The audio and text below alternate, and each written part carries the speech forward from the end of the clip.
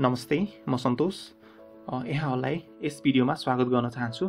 र यस भिडियो मार्फत चाहिँ मैले हजुरलाई घरमै बसी बसी अनलाइन सेयर चाहिँ कसरी बढ्न सकिन्छ भन्ने कुरा सिकाउन गइरहेको छु। र यस भिडियो बनाउनुको मुख्य कारण चाहिँ के भन्दाखेरि मैले जुन यो नेपालको ब्याङ्किङ इन्स्टिट्युसन्स अथवा कुनै पनि संस्थामा सेयर भर्नको लागि चाहिँ कति घन्टौँ खर्च गरिरहेको हुनुहुन्छ लाइनमा बस्दा बस्दै। र त्यो समय बर्बाद नहोस् र त्यो समय अरू कुनै राम्रो कुरामा खर्च गर्न सक्नुहुनेछ भन्ने हिसाबले चाहिँ घरमै बसी बसी कसरी सेयर भर्न सकिन्छ भन्ने कुरा म सिकाउन गइरहेको छु।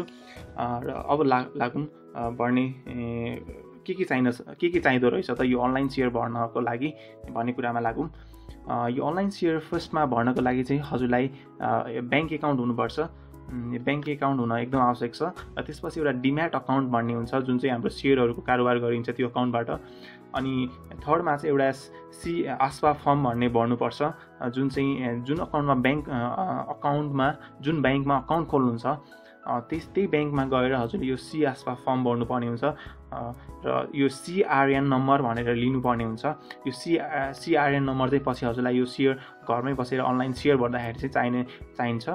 र फोर्थ नम्बरमा चाहिँ यो मेरो सेयरको फर्म भर्नुपर्ने हुन्छ हुन्छ। अ, जु जुन चाहिँ हजुरले जुन क्यापिटलमा हजुरले यो डिम्याट अकाउन्ट खोल्नु भएको थियो त्यहीँ गएर यो मेरो सेयरको फर्म भर्नुभयो भने हजुरलाई मेरो सेयरको चाहिँ लगइन आइडी र जुन पासपोर्ट दिइन्छ। र यति भइसकेपछि चाहिँ हजुरले अब घरमै बसी बसी अनलाइन सेयर भर्न सक्नुहुनेछ। यदि हजुरले यो मेरो सेयरको फर्म भर्नु भएको छैन भने यो हजुरले ब्याङ्कमै गएर यो सिएसबायुको फर्म भरेर फेरि त्यसबाट सेयर भर्न चाहिँ सक्नुहुनेछ।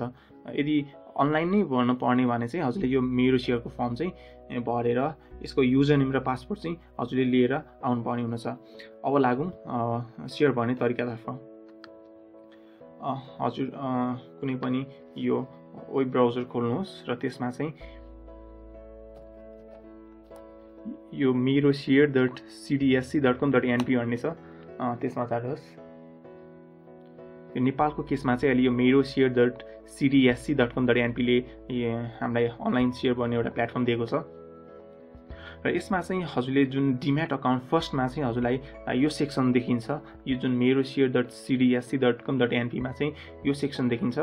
र यसमा चाहिँ फर्स्टमा हजुरको यो सेलेक्ट यो डिपी भनेको छ यो भनेको चाहिँ हजुरको डिम्याट कुन क्यापिटलमा खोल्नु भएको त भनेर भनेको छ यो मैले चाहिँ ग्लोबल आइएमए क्यापिटलमा खोलेको थिएँ त्यही भएर ग्लोबल आइएमए क्यापिटल युज गरेँ। र हजुरले यो मेरो सेयर भर्दाखेरि हजुरलाई यो जुन त्यो क्यापिटलले युजर नेम र पासवर्ड दिएको हुन्छ त्यो चाहिँ यसमा चाहिँ युजर नेम हाल्नुहोस् त्यो मैले पहिल्यै हालिसकेको रहेछु अनि यसमा चाहिँ पासवर्ड हानेर लगइन गर्नुहोस्। एकछिन एकछिनपछि हजुरलाई यस्तो यो खुल्छ।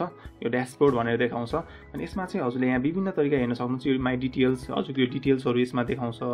हजुरको यो पर्सनल इन इन्फर्मेसन्सहरू अनि चाहिँ माई सेयर्समा चाहिँ हजुरको विगतमा के के सेयर छ त हजुरको भनेर चाहिँ यसमा देखाउँछ होइन? अनि माई पोर्टफोलियोमा जानुभयो भने चाहिँ त्यसको कति छ भ्यालुएसनको सेयरहरू त्यो भ्यालुएसन देखाउँछ। अनि फर्स्ट हामीले चाहिँ अब मेन चाहिँ अनलाइन घरमै बसेर कसरी सेयर भर्ने भन्दाखेरि चाहिँ यो मेरो सेयरमा लगइन गरिसकेपछि चाहिँ यो माई आस्पा भन्ने सेक्सनमा जानुहोस् र यो करेन्ट इस्युमा जानुहोस्। यसमा चाहिँ कुन कुन सेयरहरूको खोलिरहेछ त भनेर चाहिँ यसमा देखाउँछ। र यसमा अहिले चाहिँ तिनवटा दिएको रहेछ। एउटा दुइटाको चाहिँ राइट सेयर रहेछ अनि एउटा चाहिँ आइपिओ छ। यो चाहिँ नेपाल सेवा लघु वित्तले चाहिँ आइपिओ खोलेको छ र यो जुन राइट सेयर दुइटा खोलेको छ यसमा चाहिँ हामीले यो मेरो सेयरको मार्फत चाहिँ कुनै पनि राइट सेयरहरू भर्न सकिन्छ अथवा एफपिओहरू भर्न सकिन्छ अनि यो आइपिओहरू आइपिओहरू भर्न सकिन्छ। अनि यो राइट सेयर भर्नको लागि चाहिँ हजुरले यदि पहिला नै कुनै कम्प फर इक्जाम्पल हजुर यो नेपाल इन्सुरेन्स कम्पनी लिमिटेडको यो राइट सेयर खुल्याएको छ यदि हजुरको पहिला कुनै पनि सेयर छैन भने चाहिँ हजुरले राइट सेयर चाहिँ भर्न पाउनु हुँदैन जुन चाहिँ हजुरको पहिला सेयर थियो हो त्यो सेयर यदि छ भने चाहिँ त्यसको मार्फत चाहिँ हजुरले राइट सेयर चाहिँ बल्ल पाउने हो। बल्ल एलिजिबल हुनुहुन्छ राइट सेयर भर्नको लागि चाहिँ। र अहिले चाहिँ यो आई हामी चाहिँ यसमा नेपाल सेवा लघु वित्तले चाहिँ यो जुन आइपिओ खुलाएको छ यो आइपिओ भर्न गइरहेका छौँ। र हजुरलाई म कसरी यो आइपिओ चाहिँ कसरी भर्ने भन्नेतर्फ चाहिँ जानकारी दिनेछु। र यो जुन यो नेपाल सेवा लघु वित्तालयले आइपिओ खुलिरहेछ यसमा यसलाई भर्नको लागि चाहिँ हामीले यसलाई एप्लाईमा क्लिक गर्न सकिन्छ। यो एप्लाईमा क्लिक गर गरिसकेपछि चाहिँ हजुरलाई यस्तो सेक्सन देखाउँछ। यसमा चाहिँ यो अब कहिले इस्यु भएको डेटहरू छ नम्बर अफ इस्यु चाहिँ हजुरको एक लाख असी हजार किता चाहिँ हजुरको यो नेपाल नेपाल सेवा लघु वित्तले अहिले जारी गरेको छ। जुनको प्राइस चाहिँ एक किताको सय रुपियाँ पर्छ र मिनिमम पचास कितादेखि नौ सय कितासम्म एप्लाई गर्न सकिन्छ। भनेको पाँच हजारदेखि नब्बे हजारसम्मको एप्लाई गर्न सक्नुहुन्छ। यसमा चाहिँ अहिले यो यो जुन नयाँ सिस्टममा चाहिँ लट्री सिस्टममा हामीलाई सेयर दिने भएको कारणले गर्दाखेरि यो पाँच सय पचास किता एप्लाई गर्नु र नौ सय किता एप्लाई गर्नुमा त्यति फरक पर्दैन। त्यही भएर हामीले पचास किता एप्लाई गर्दा नै ठिक हुन्छ। यो पचास किता एप्लाई गर्नेलाई नि नौ सय किता एप्लाई गर्नेलाई पनि लट्री बेस्डमा चाहिँ दस किता मात्र सेयर दिने यो अहिलेको लेट यो चलन छ। त्यही भएर हामीले पचास कितादेखि धेरै नभरौँ र अरू अरू धेरै कम्पनीको सेयरहरू पनि आउनसक्छ जुन जुनमा चाहिँ यो लट्री बेस्ड नहुन पनि सक्छ। तर यसमा चाहिँ हाम्रो लट्री बेस्ड नै हुने कारणले गर्दाखेरि हामी पचास कितादेखि धेरै न नभरौँ यसमा चाहिँ। यसमा चाहिँ पचास किता लेख्नुहोस्। पचास किता लेखेपछि हजुरको यो पाँच हजार चाहिँ अटोमेटिकली तल आउँछ। अनि चुज ब्याङ्क गर्दाखेरि चाहिँ अटोमेटिकली यो एनआइसी एसिया मेरो चाहिँ एनआइसी एसिया ब्याङ्कमा लिङ्क थियो अकाउन्ट त्यही भएर एनआइसी एसिया ब्याङ्क चुज गरेँ मैले। जुन हजुरले यो ब्याङ्क अकाउन्टमा यो सिएसवा फर्म भर्दाखेरि नि हजुरले भर्नुपर्ने हुन्छ डिम्याट अकाउन्ट दिएर। त्यो गर्दाखेरि हजुरको अटोमेटिकल्ली ब्याङ्क अकाउन्ट चाहिँ यहाँ आफै लिङ्क हुन्छ यो मेरो सेयरसँग चाहिँ। अनि मैले अहिले भनेअनुसार त्यो सिएसको फर्म भर्दा हजुरलाई एउटा सिआरएन नम्बर भन्ने दिन्छ। त्यो सिआरएन नम्बर चाहिँ यसमा टाइप गर्नुपर्ने हुन्छ। मेरो सिआरएन नम्बर चाहिँ म यहाँ टाइप गर्नु गइरहेको छु।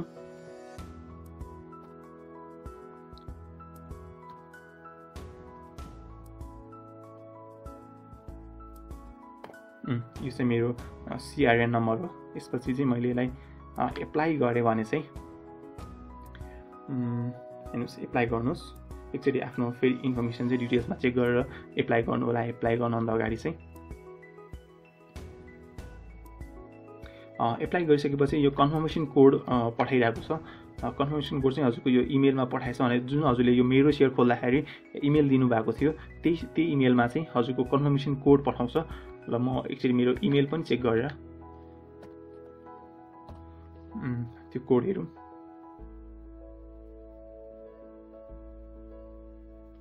हजुर मेरो सेयरले चाहिँ मलाई कन्फर्मेसन कोड चाहिँ पठाइसकेको छ। कन्फर्मेसन विज फोर नाइन थ्री टू भनेको छ। जुन चाहिँ यो इमेल हजुरले मेरो सेयरमा भर्नुभएको थियो त्यही इमेलमा नै पठाउँछ। Four nine three two confirmation code छ। हजुरले यो कन्फर्मेसन कोड चाहिँ यहाँ गएर हानेर कन्फर्म कन्फर्म गरिदिनु भयो भने चाहिँ प्रोसेसमा जान्छ। हेरौँ के हुन्छ।